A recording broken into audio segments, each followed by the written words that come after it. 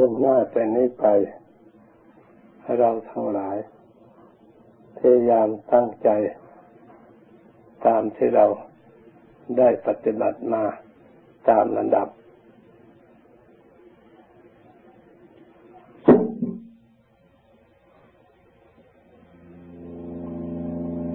เพราะเราทั้งหลายทราบอยู่แล้วว่า ความตั้งใจอยู่ที่ไหน ความสำเร็จอยู่ที่นั้น ไม่ว่างานสิ่งใดที่ทำลงไป จุดหมายปลายทางคือความสำเร็จ งานใดที่ทำลงไปแล้วไม่สำเร็จ งานนั้น เราต้องพยายาม เราต้องเอาใจใส่ จนกว่างานเหล่านั้น ให้สำเร็จลุล่วงไปได้ จึงจะมีผล ความสำเร็จแต่ละครั้งแต่ละคราวนั้นก็สำเร็จตามลักษณะของงาน ไม่ใช่ว่าทำวันหนึ่งคราวหนึ่งให้สำเร็จทั้งหมดเป็นไปไม่ได้ และงานเหล่านั้น ทุกประเภทไม่ว่างานภายนอกภายใน มีอุปสรรคเป็นธรรมดา การปฏิบัติจิตภาวนา ก็เป็นงานส่วนหนึ่ง คือเป็นงานภายใน อบรมจิตใจของเราให้มีกำลัง ความรู้ความสามารถ มีความฉลาดในทางธรรม เพื่อจะได้นำมาอบรมจิตใจให้เป็นสมบัติประจำในใจของเรา เราจะได้ธรรมะเหล่านั้น เป็นที่พึ่งที่ยึดหน่วงองค์สมเด็จพระสัมมาสัมพุทธเจ้าทรงเตือนว่าเราทั้งหลาย จงมีที่พึ่งยายอยู่ปราศจากที่พึ่ง จงมีที่อาศัยยายอยู่ปราศจากที่อาศัย ที่พึ่งที่พระพุทธเจ้า พระองค์ทรงตรัสไว้นั้น ที่พึ่งอันประเสริฐคือคุณพระรัตนตรัยเฉพาะอย่างยิ่งพระธรรมคำสอนที่พระองค์ทรงตรัสไว้ เพราะว่าเมื่อพระพุทธเจ้า พระองค์ทรงดับขันปรินิพานแล้ว พระธรรมก็ดีวินัย ก็ดีที่พระองค์ทรงแสดงไว้นี่แหละ เป็นประศาสดาหรือเป็นครูเป็นอาจารย์สั่งสอนเราท่านทั้งหลาย เราควรยึดพระธรรมนี่แหละ เป็นสรณะเป็นที่พึ่ง เท่ากับเรามีพระพุทธเจ้าเป็นที่พึ่งด้วย การยึดพระธรรมเป็นที่พึ่งนั้น ก็คือให้เราตั้งอยู่ในธรรม ทำเหล่านั้นให้มีอยู่ในใจของเราทำในส่วนกุศล อันเป็นผลให้เกิดความสุข เรารักษาความสุจริตธรรม เป็นความสะอาดความผ่องใส ความหมดจดในทางกาย ในทางจิตใจของเราทำให้กายและจิตใจของเรา มีความหมดจด ความหมดจดของกายของวาจานี่ปราศจากการมีเวรและมีภัยทำทั้งหลายที่เป็นภัยและเป็นค่าศึกต่อความสงบและความสุขล้วนแต่เป็นธรรมที่เศร้าหมองทำไม่หมดจด เหมือนกับผู้ร้ายที่ก่อกวนบ้านเมือง มันอยู่ที่รกชัด มันไม่อยู่กลางแจ้ง มันอาศัยที่มืดอาศัยที่กำบัง แล้วก็พยายามทำความเดือดร้อน ให้แก่ชาวบ้าน ให้แก่ประชาชน ให้แก่บ้านเมือง ชั้นใดก็ดี กรรมก็ดี เวรก็ดี ภัยก็ดี ทั้งหลายมาจากที่มืด มาจากที่กำบังรกชัดของจิตใจ ที่จิตใจไม่สะอาดนั่นเอง ถ้าจิตใจของเราสะอาดแล้วภัยก็ดีมนทินที่จะเกิดขึ้น ย่อมเกิดขึ้นได้โดยยาก เพราะเรารู้เราเห็น ว่าเป็นสิ่งที่ไม่ดี เป็นสิ่งที่ไม่มีประโยชน์ เหมือนกับเราเห็นภัยแล้วเราก็ต้องหลีกลบหลีกภัย เราพยายามป้องกันภัยสร้างความป้องกันช่วยตัวเอง เพื่อจะได้เป็นเครื่องปลอดภัยชั้นใด ภัยเกิดขึ้นทางจิตใจก็เช่นเดียวกัน เราจะได้ธรรมะเป็นเครื่องป้องกันเป็นป้อมประการ โดยเฉพาะอย่างยิ่งทำอันเป็นหนทางการปฏิบัติ เข้าสู่ความสงบ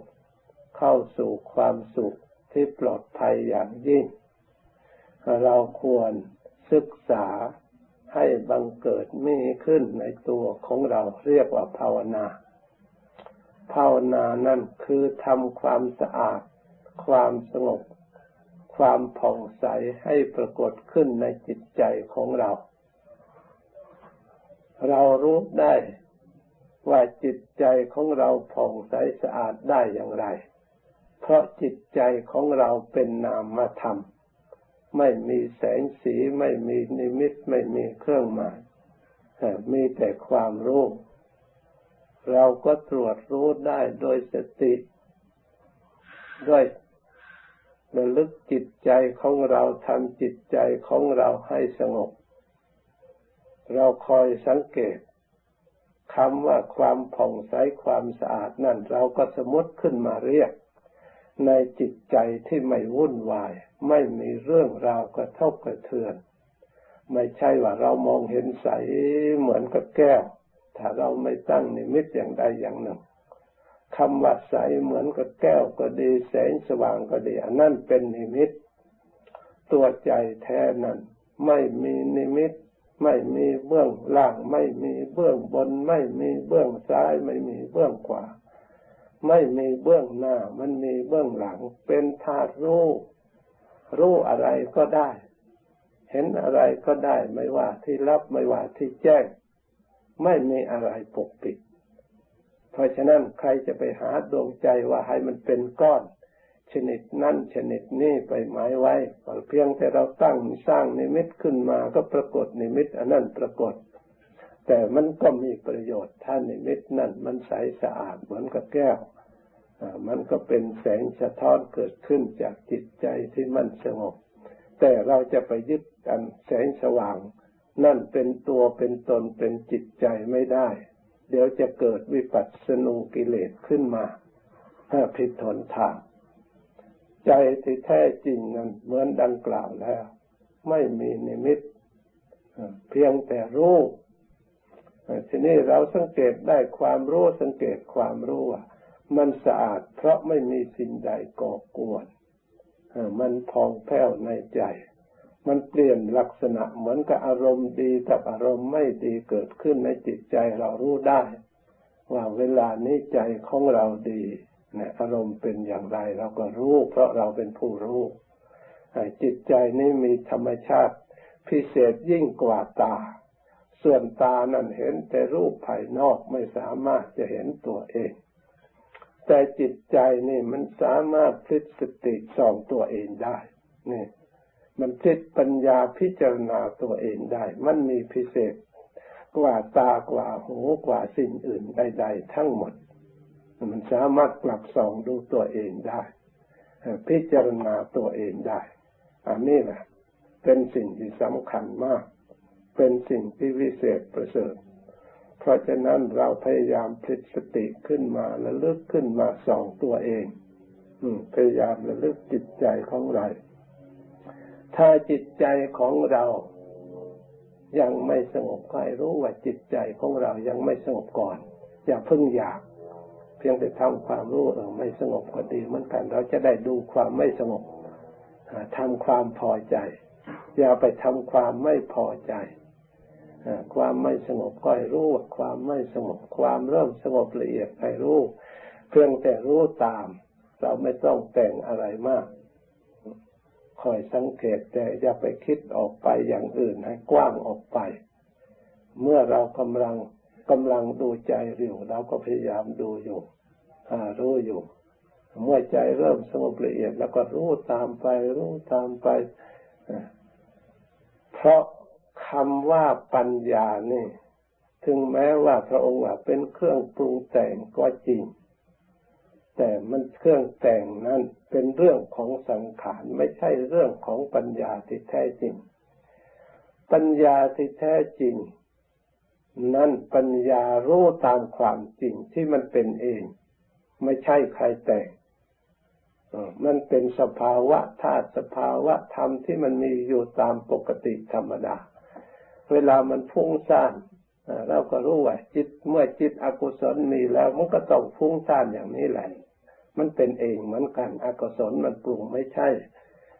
นี่เป็นสังขารชนิดหนึ่งมาปรุงที่ว่าชนิดหนึ่งเพราะมันเป็นอนัตตา เราแยกว่าเป็นอนัตตาไม่ใช่เรา สังขารที่มันปรุงทุกข์ก็ดีเป็นอนัตตาไม่ใช่เราก็มันเกิดขึ้นเองเหมือนกัน เป็นส่วนหนึ่ง เมื่อมันประสบ แต่ก็มีวิธีที่จะแก้ไขได้ เปลี่ยนได้ เปลี่ยนอารมณ์ได้ จากความคิดไม่ดีหันมาเข้าหาทางที่ดี เปลี่ยนมาในทางที่ดี ไม่ใช่ว่า เป็นเองโดยเปลี่ยนไม่ได้เมื่อเรารู้จักแล้ว ว่าไม่ดีแล้วพระพุทธเจ้าสอนว่าให้ละให้ละ เป็นคำสอนพระพุทธเจ้าที่เรียกว่าองค์วาทของพระพุทธของพระพุทธเจ้าทั้งหลาย เมื่อเรารู้เราก็ปล่อยวางไป ในส่วนที่ดีเมื่อเกิดขึ้นแล้วมันก็ไม่แน่นอนอีก เพราะสังขารมันไม่แน่นอน ส่วนดีก็ไม่แน่นอน ส่วนสงบก็ไม่แน่นอน ส่วนความรู้กลางกลางนี่สำคัญ เมื่อไหนปรากฏขึ้นมาจากดีก็ดีจากไม่ดีก็ดี ให้ถือว่าเป็นธรรมทั้งสองหลวงปู่มั่นท่านเคยแนะอุบายอันนี้สำคัญมาก การภาวนาเมื่อไม่สงบ ไม่นี่ท่านเราก็ว่าอย่าพึ่งอยากสงบหรืออย่าพึ่งแก้ไข พยายามมีสติกำหนดรู้ว่า จิตไม่สงบมันก็ดีเป็นสัจจะเป็นอริยสัจท่านว่าส่วนนี้เป็นส่วนของทุกขสมุทัยเป็นอริยสัจเราดูให้เป็นอริยสัจเสียแล้วก็เราถือว่าเราได้รู้ธรรมเราได้เห็นธรรมเหมือนกันนี่ท่านบอกแต่เวลาจิตสงบเราก็รู้เหมือนกันอีกว่า อันนี้ก็เป็นอริยสัจในส่วนสงบ ในส่วนนิโรธกับมรรคนี่มันสงเคราะห์กันได้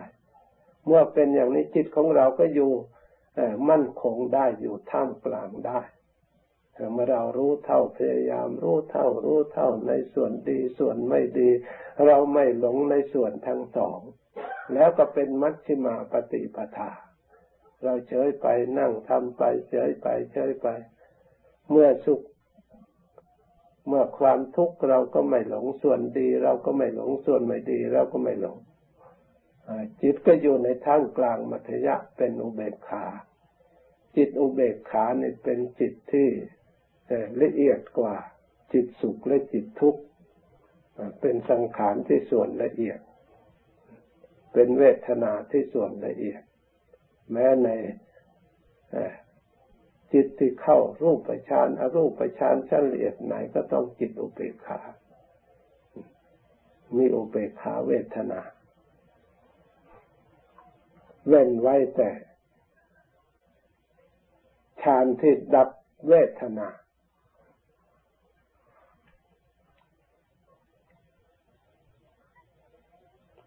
เมื่อเป็นเช่นนี้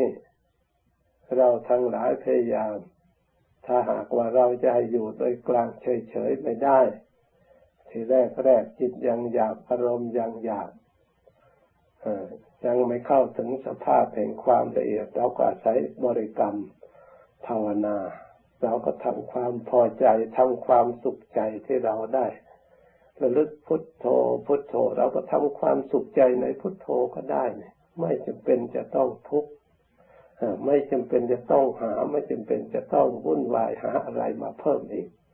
เราได้พุทโธคือองค์พระพุทธเจ้ามาเป็นที่พึ่งแล้ว เราก็ทำความดีใจและพอใจอยู่ในพุทโธนั่น เหมือนกับพระพุทธเจ้าอยู่เฉพาะหน้าอยู่กับใจของเรา เราก็ระลึกไประลึกไประลึกไปทำความดีใจสบายใจ